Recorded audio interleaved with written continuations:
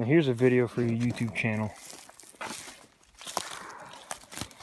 When I tell you don't fucking go fast, don't fucking go fast.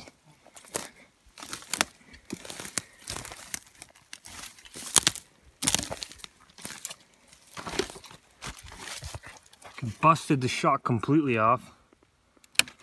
That low life now.